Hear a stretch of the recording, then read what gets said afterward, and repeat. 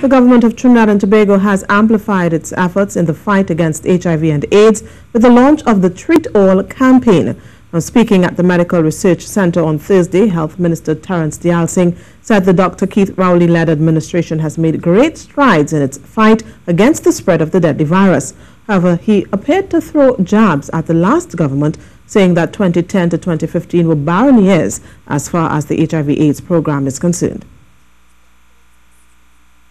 the last administration, for reasons best known to them, refused to cooperate with the CDC and with the American government to access PEPFAR funding.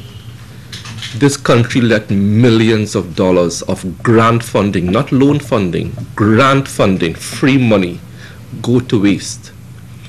It is only when we came into office and I understood the gravity of the HIV AIDS problem facing us. And I understood that you needed resources that we were able to save PEPFAR within about one year. Minister Deyalsingh said the Health Ministry applied for and received funding from the President's Emergency Plan for AIDS Relief, better known as PEPFAR, and faced with the question of what to do with said money, he took a note to Cabinet proposing that it be used for the Medical Research Foundation of Trinidad and Tobago.